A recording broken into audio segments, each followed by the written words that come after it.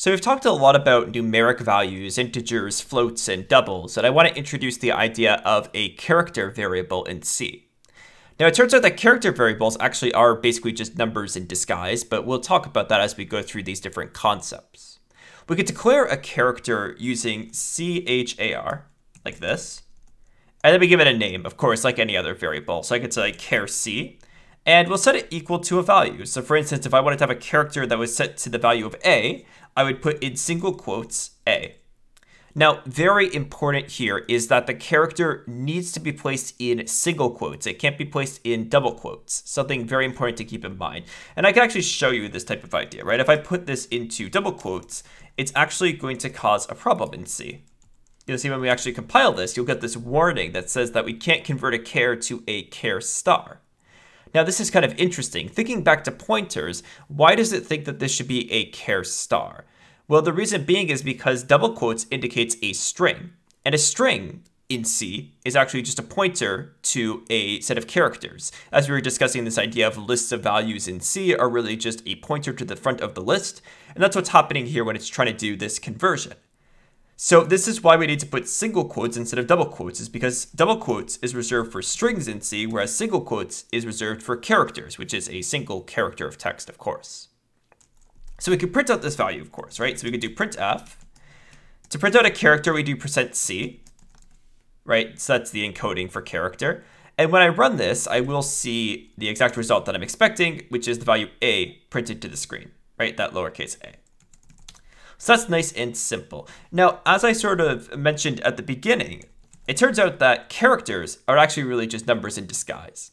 The reason being for this is that when we work with values like characters, in reality, they're stored as integer values. And then we use an encoding known as ASCII in this case to convert that number into its corresponding character. Now in C, it's rather unique that we can show this concept very clearly. I can actually print this character as an integer.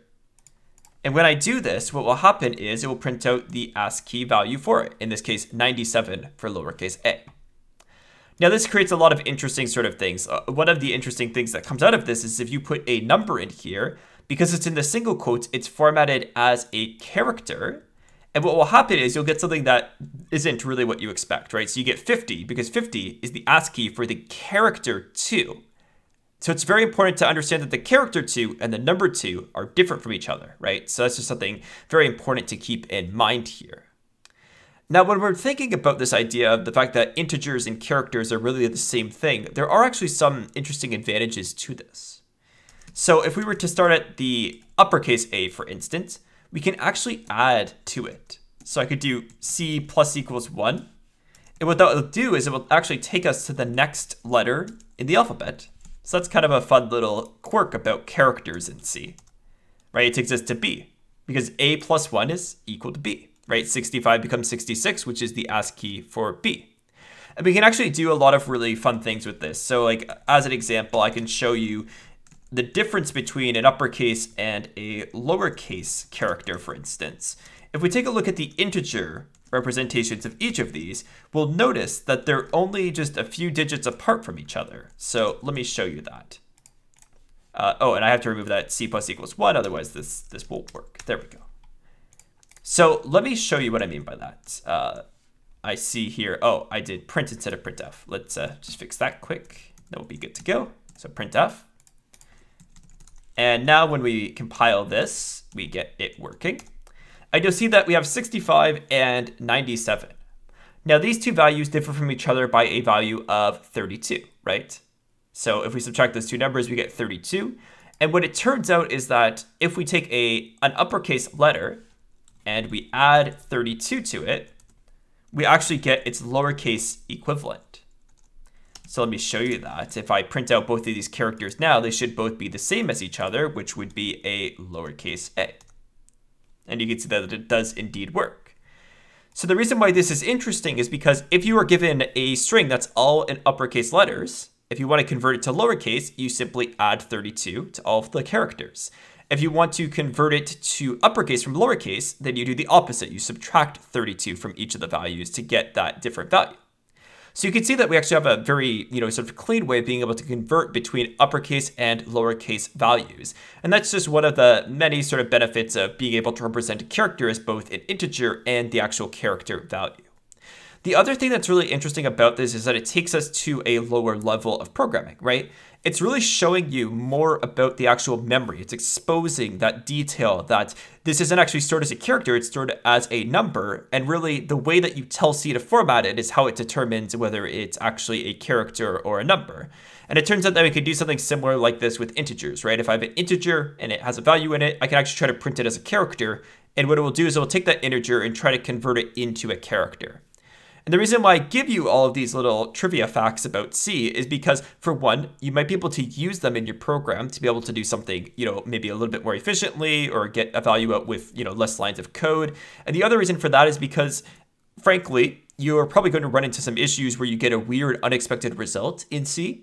And I want you to have a bit more of an intuition about where those weird results may come from. At some point, you may try to print out a character and accidentally print it as an integer, right? So I want you to have that intuition behind, okay, it's really just an integer value. So that's what you may see sometimes. So that just gives you a little bit more of that insight towards that.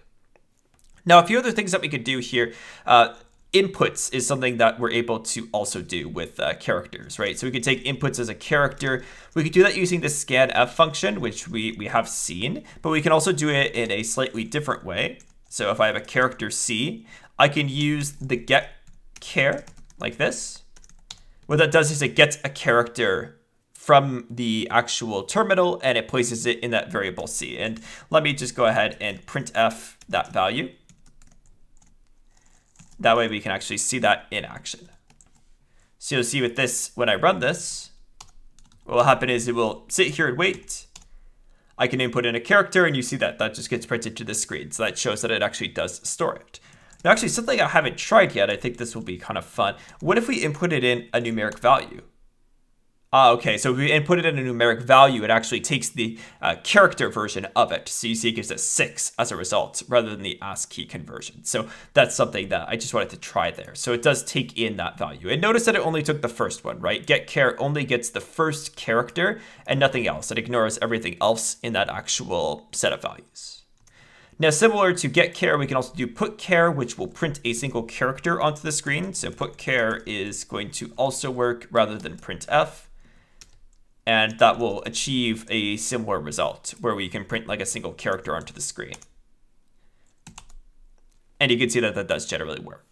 So these are just other like sort of special cases of functions that we already know. Scanf lets us take in an input.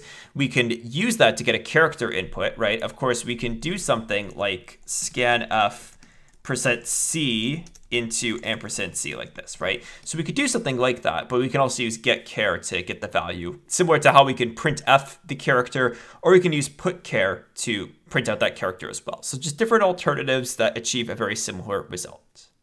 And with this, you should now have a pretty good understanding of character data types. So thank you so much for watching, and I'll see you in the next video.